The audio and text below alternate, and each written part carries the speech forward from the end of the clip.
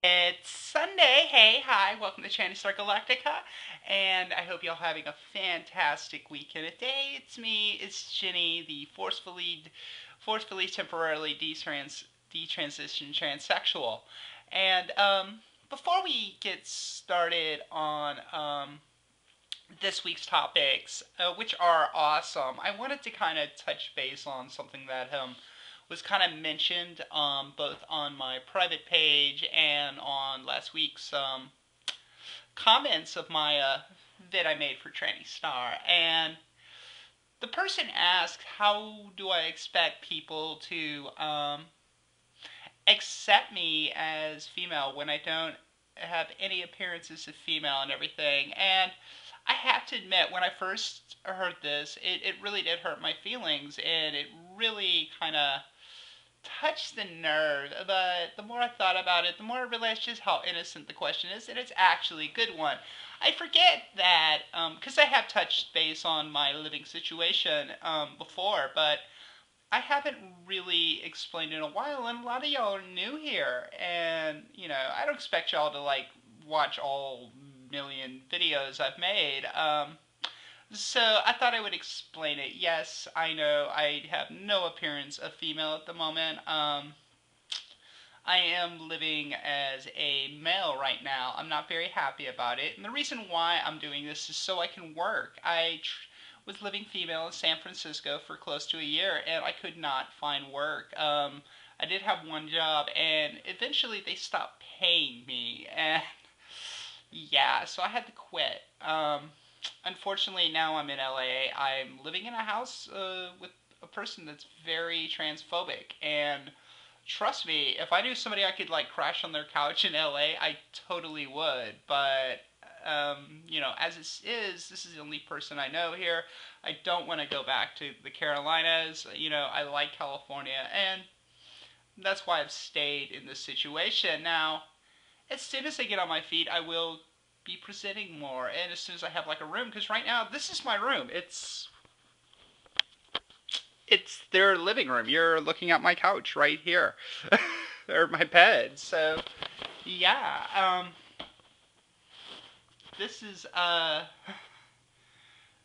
yeah that's that's the reason why I don't appear female. I mean trust me I hate it and I wish I could present myself as I am. I especially miss being on HRT and a lot of other things. But um, so there's the answer to that question, um, mystery person.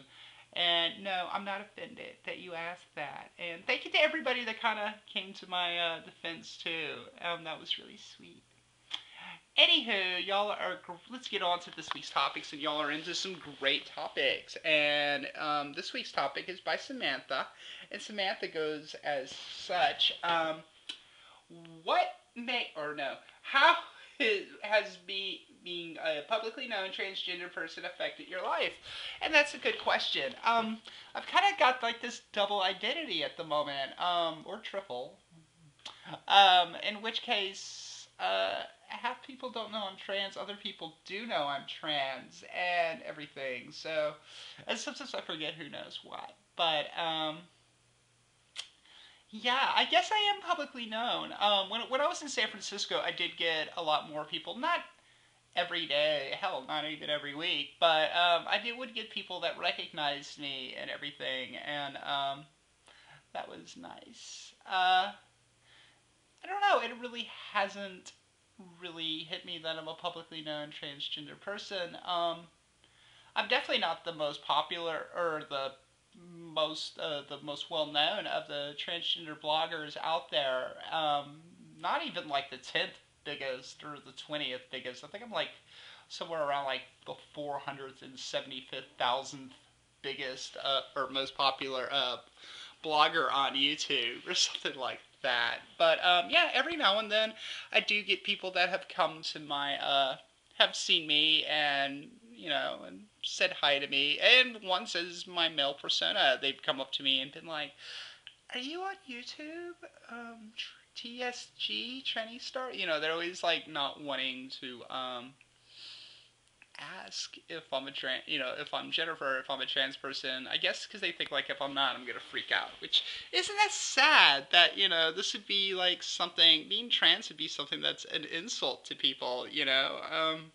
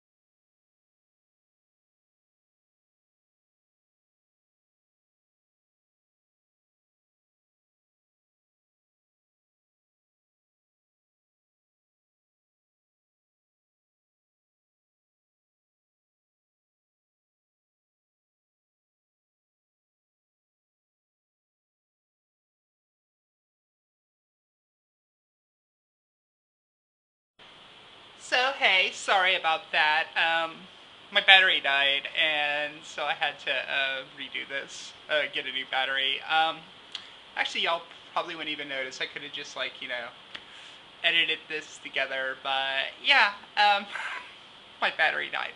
So anyway, yeah, like I was saying, um, yeah, people do uh, recognize me every so often, and everybody's been really nice. I think the most people that uh, talk to me um, generally is via uh, email, and people always ask me stuff, you know, advice and everything, which I'm happy to give to certain people. You know, I don't mind.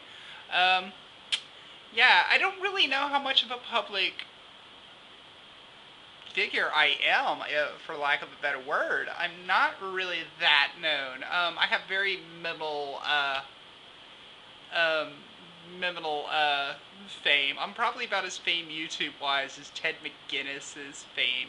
And by the way, Ted McGinnis is the guy that played, uh, um, what's his name? Jefferson Darcy off of Married with Children. He's like kind of this C-level actor and everything. Um, yeah, uh, not really that famous or that uh, well known, I guess, but um, the few people have recognized me, I've loved it, and I love talking to everybody. So it's been nice. I'm very um, sociable. Um, yeah. So there you go. There's the answer to that question. And now for question um, two, it's the bonus one. Yay!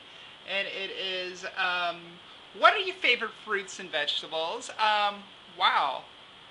You know, this is actually a harder question to answer than the other one because the other one's pretty, you know, I've got a definite answer.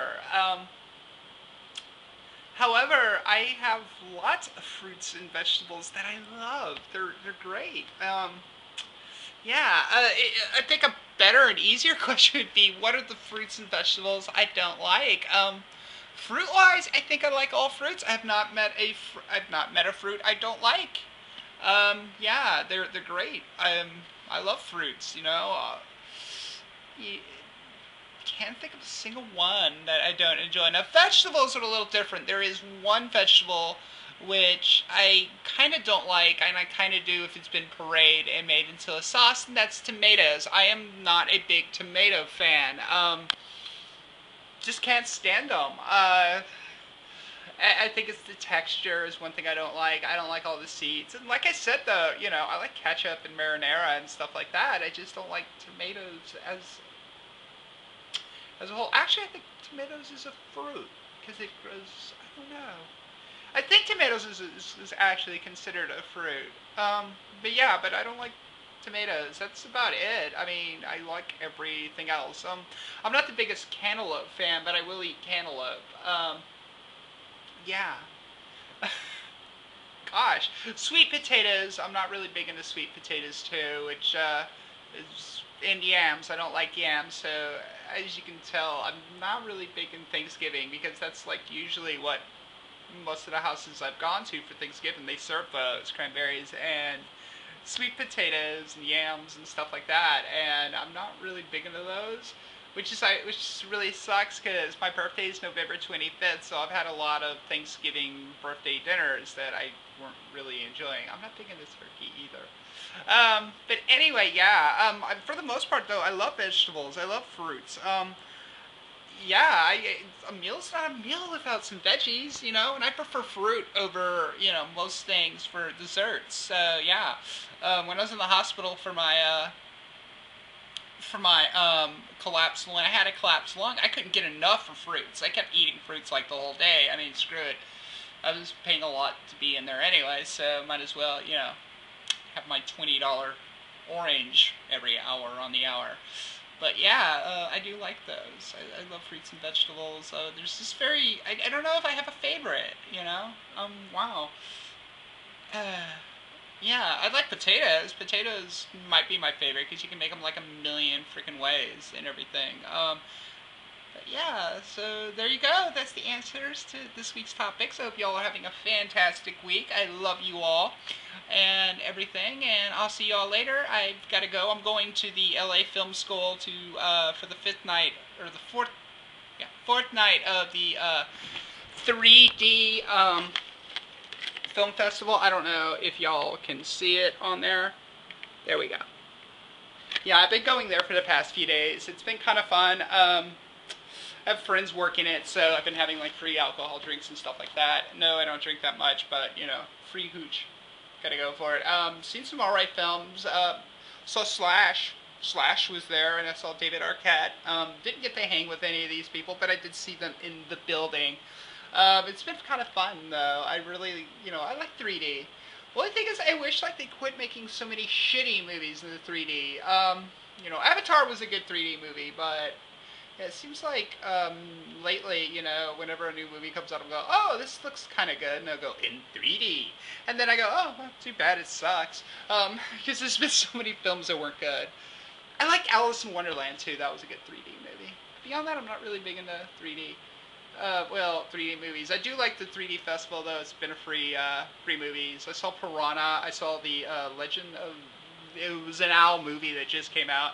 Got to see um, How to Train Your how to train your um, your dragon and everything. I think tonight they're having Nightmare on Elm Street, which I'm going to avoid like a plague because that remake blows, and I hope that person gets hurt. But that made it. Um, but anyway, you know what? I am going on and on about nothing, and I'm sure y'all are really tired of me and want to click on to something else, you know, like a bear sneezing, or see what Krishna's up to, or Krista Easter and everything. But anywho, I love y'all. I'll see y'all next week. Be tuned. Stay tuned for tomorrow um, to see Diana um, and everything. I miss you, Gaden. I miss you so much already. Um, I'll talk to y'all later. Until until then, transmission out.